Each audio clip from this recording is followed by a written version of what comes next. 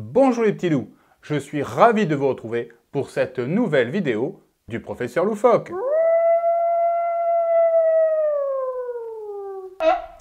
En ces temps de canicule, il me semblait approprié de parler de la chaleur, et plus précisément de la conduction thermique. Pour cela, vous avez besoin d'une couverture ou d'un vieux pull, d'une plaque métallique et deux glaçons. J'en ai trois et ils sont identiques. Tout le monde a déjà remarqué que lorsque on met un pull ou une couverture, ça nous tient chaud. Hmm. Par contre, la plaque métallique, elle, est toute froide.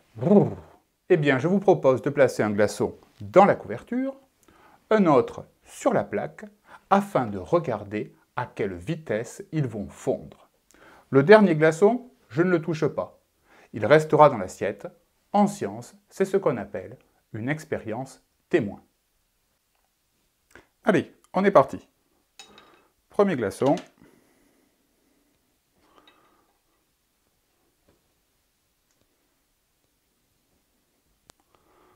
Deuxième glaçon.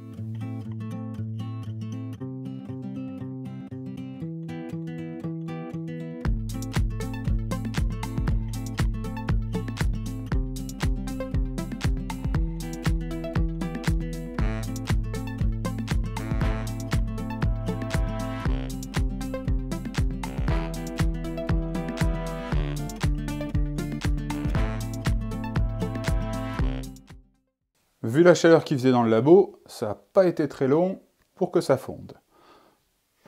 Bon, en tout cas, il ne reste plus du tout de glaçons sur la plaque en métal.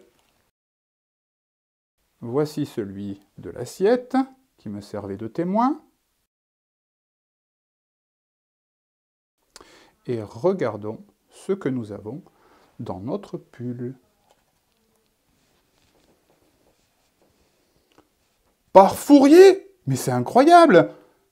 Il est quasiment entier. Regardez. Il n'a presque pas fondu.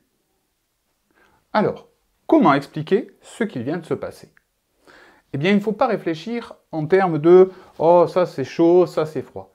Il faut réfléchir en termes de conduction thermique, c'est-à-dire la capacité que possède un matériau de transporter de la chaleur.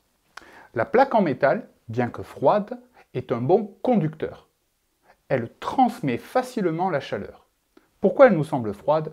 Parce qu'en général, la température de notre corps est supérieure à la température de la pièce.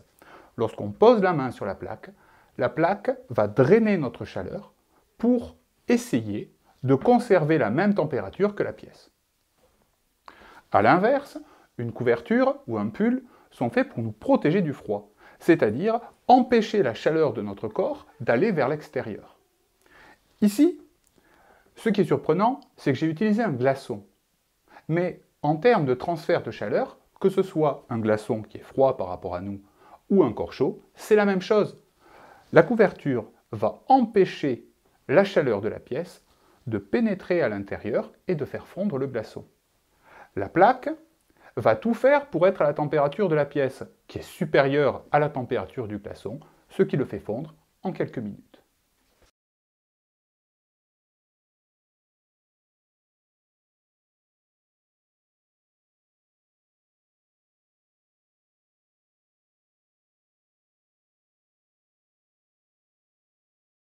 Voilà les petits loups, cette expérience est terminée, j'espère qu'elle vous a plu. Si c'est le cas, n'hésitez pas à la refaire chez vous.